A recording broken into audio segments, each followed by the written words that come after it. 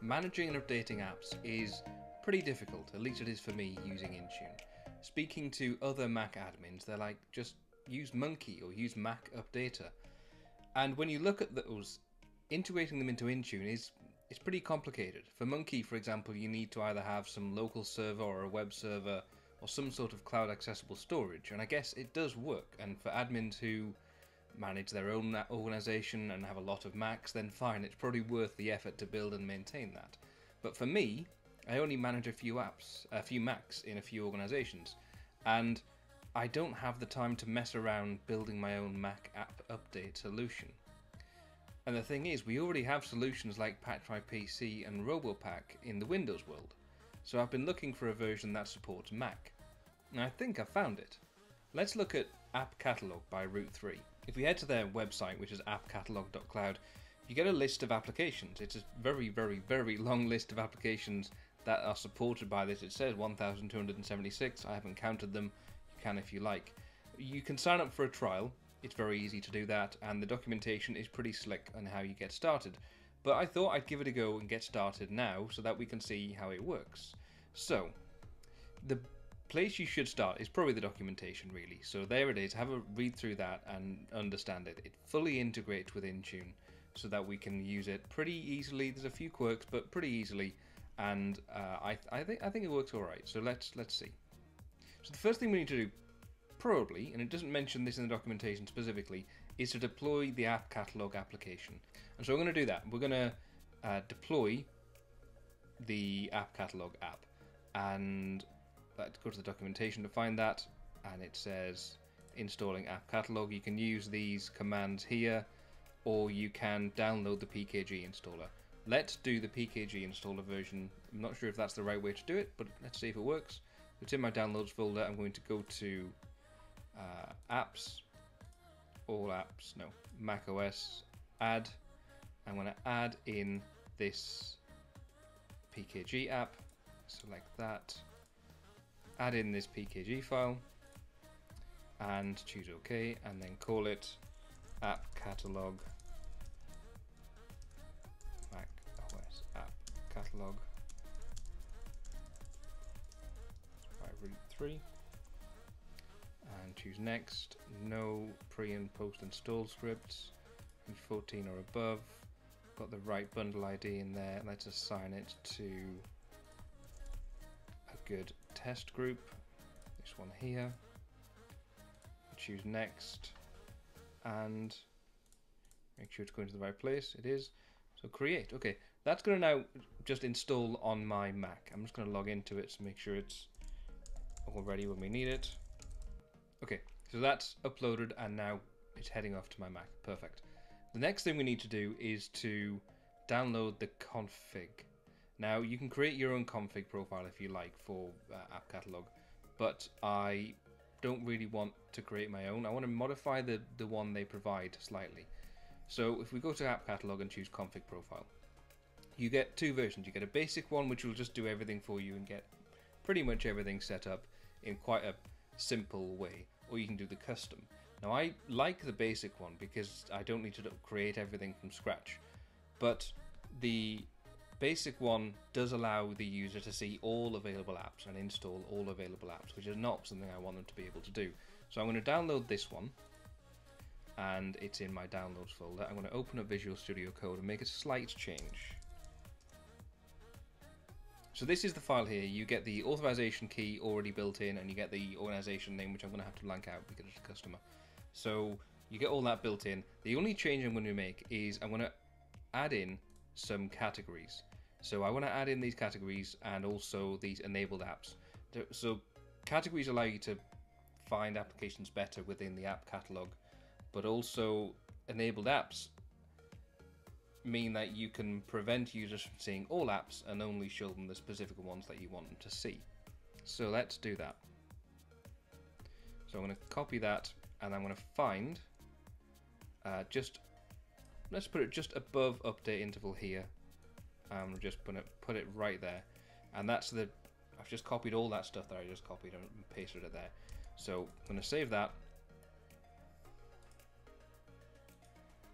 And that's what I'm going to upload now into Intune. So we're going to go to Devices, Mac, Configuration, create a new policy, and the policy is going to be Custom. I'm going to call it App Catalog Configuration. Just put that mobile config file in there. Perfect.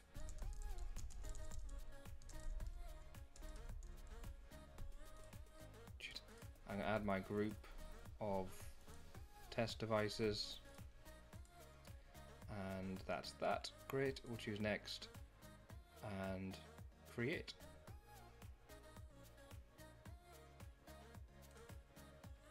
Okay, so that's the app catalog being pushed, the app catalog configuration being pushed to my devices. Next, we do need to consider something else. We have to have these three, three, three things here. So granting user notifications, manage login items, and the app management.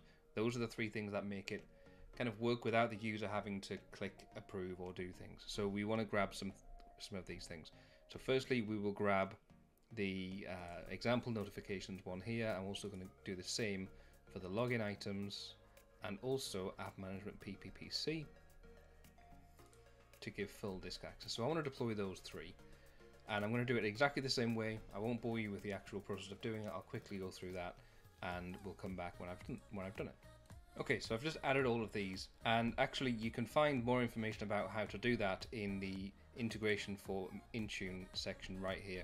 It tells you to uh, it tells you to create the config profile that I just did, and then also how to uh, deploy all of these configuration profiles. So that's perfect. Next, let's deploy an up an app for Chrome, for example. And the reason I'm saying Chrome is that it's already here and I can just download this file and deploy it. Very, very simple. This is this is the section, this is the information here that you need to have in the script. You need a bundle identifier which you get from the app catalog by going to app catalog and then typing Chrome and you'll see I open up Chrome the bundle ID is right there and if we go back to the documentation this is where you would put the bundle ID. I'll download this one and open it up in VS Code and there is it. There it is exactly as we just saw it. So all we need to do is push this script via Intune and we should be good. So let's do that. Back to Intune, I'm going to go for macOS devices, scripts, add, and let's do app catalog install Google Chrome. Choose next, select that file, install Google Chrome, and there it is. Perfect. We want to scroll down and make sure we're not running as a signed in user and we don't need to run it every week and we can run it up to three times. So that's that. So I'm going to choose next, I'm going to choose add groups and I'm going to go for my test group of devices here, select next. Now before I choose add, because when I choose add, it will start pushing stuff to this device, and I don't want it to start pushing it to the device until it's ready to work. So let's head to the device and now and see what we've got installed. I don't have the app catalog yet, because it would be here somewhere. So give this a few more seconds. Actually, I'm going to go to company portal and sign in. Just see if I can push this down a bit faster. Choose check status. Okay, so we've got this one here, manage login items added. And I've got a feeling that is actually to do with the app catalog. I, the Zoom one isn't related to that. But let's take a look in settings and see if that one there is related to the app catalog. So it's in privacy and security, down to the bottom in profiles. And we have the app management app catalog here. We've got the app, app catalog configuration, manage login items configuration from app catalog. So aside from the actual app being installed, um, ah, there it is. Okay, open this up and let's see what we get. Perfect. Those are the apps that I added in. So by default, you would have all of all the apps, all 1,276 apps. I didn't like that. So let's see if we can add some more apps to this list later on. But for now, it'd be possible for a user to click install on Google Chrome. I don't want them to do that. Um, okay, great. So I'm ready to push this script. Choose add. And what I would like to see is that Google Chrome gets installed. If I go to here and just double check that Chrome isn't already installed, I'm almost certain it isn't.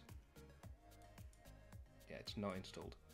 So what we need to wait for now is for this script to get pushed down to this device, and that would be perfect. Okay, so as you can see on the right hand side there, we've got it saying Google Chrome 12664788183 is installed, and then it's, it's added a background item. And that was done without me doing anything at all, just waiting a, a few minutes. The time on the right hand side there shows you how long I waited. So that was relatively easy. Let's do another one. I should, probably should have been doing another one while I was waiting, but I didn't.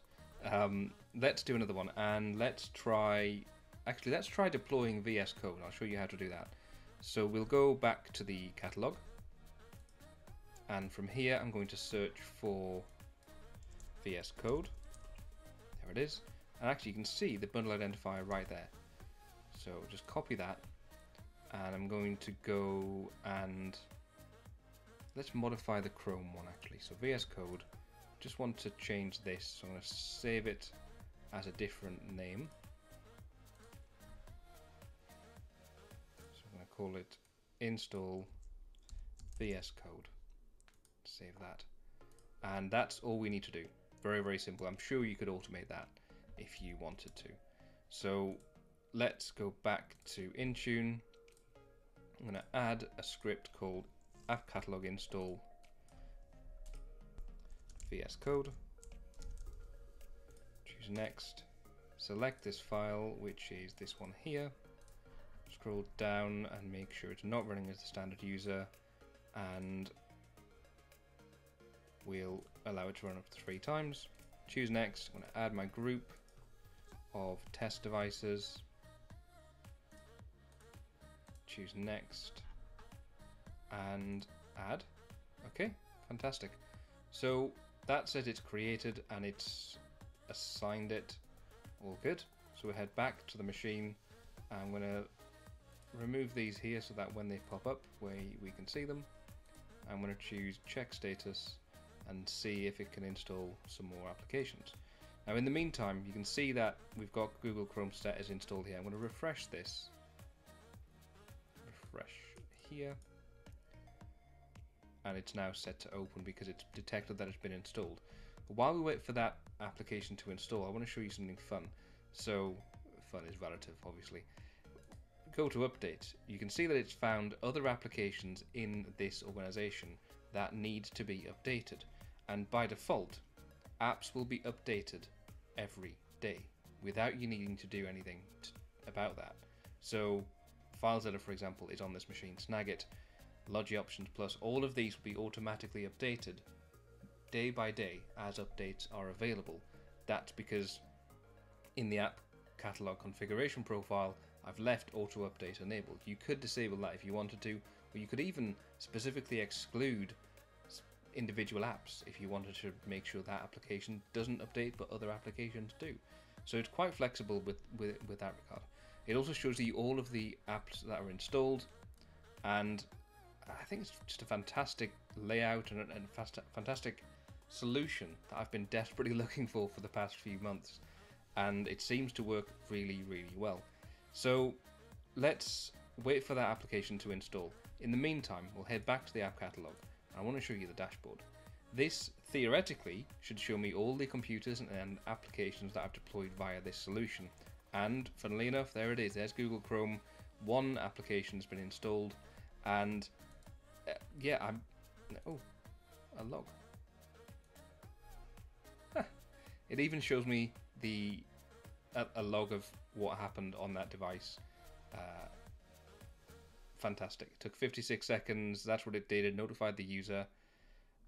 that's incredibly useful, I think, because you'll see any errors that you, you have when you push it out to your test devices, for example. Also, updates. I'm going to leave this a little while. I'm not going to install any updates manually. I want to see what happens and see if these actually do update as it promises by themselves. So I'll leave this for a little while. Uh, in the meantime, let's go back to my machine. It hasn't pushed that new app yet. So I'm going to go back to the... It still seems to be updating the status. Give that another click. Okay, give that a few seconds to install, see what happens. And within a couple of minutes, it's installed Visual Studio Code. And I assume if I go to All Apps here, it hasn't added it because I haven't allowed it to be added to this um, interface. You would have to specifically go into the config and update that. But if I show installed apps, it should show Visual Studio Code here. There it is. And so I could install it from there, and that will be updated as and when updates are made available. Check in the dashboard and see if that's updated in the dashboard. See how quick that is to update. So one computer, two installs, VS Code. Let's see what it says in the log. VS Code here, the version that was installed, and yeah, incredible. So I like it. I like it a lot. I'm going to test it a bit more and see how it works with updating because that was actually the use case was updating applications, but they will update themselves according to the documentation. So I don't need to actually do anything about that. They will just update the applications that are there. So I need to see that happen before I'm convinced that it works. But I will definitely come back to you when it does work so that we can see how good this thing is. In the meantime, um, let's look at the price. I didn't show you the price. So let's go to Root3 app catalog. Take a look. So pricing, clear and trans transparent pricing, which is awesome. So it is uh, two euros two cents per Mac per month, or two thousand four hundred euros per year because it invoices on the annual amount of that scale. So you're paying for 99 even if you don't if you only have 10. And you're paying in a year.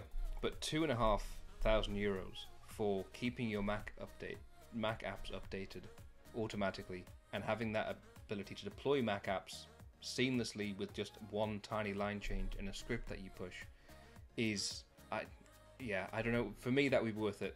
Um, obviously the more Macs you have, the more it will cost, but the better the economies of scale I really like it.